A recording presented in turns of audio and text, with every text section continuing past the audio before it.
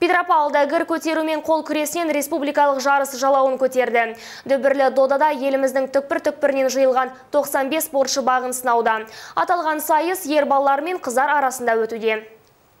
Бүгін Теріскей өңірі еліміздің әр аумағынан келген спортшыларды қарсы алды. Жиылған 95 гір көтеруші республикалық жарыса өз күштерін сынамақ. Олардың қатарында өңіріміздің намысын қорғаушы гір көтеруден халықаралық дәрежедегі спорт шебері Елена Костенко да бар. Ол намысқа тырысып, жеңісті уысымнан шығарып алмауға барымды саламын дейді. Соперниц э, сейчас у меня много.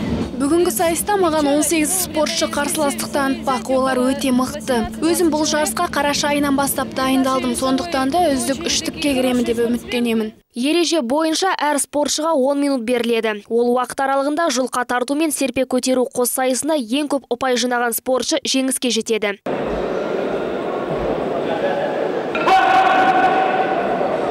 петропавл қаласында қазақстан республикасы чемпионаты өтіп жатыр гер көтеру спортынан бұл бір жағынан отбор дүниежүзілік чемпионат мира болады неде ирландияда дублин қаласында. Аталмыш жарыс теріскейде екі күн бойына жалғаспақ. Спортшылар гір көтеруден кейін келесі күні қол күресінен бақ болады. Сағыныш марқашева владимир боровков муниципалдық телеарна.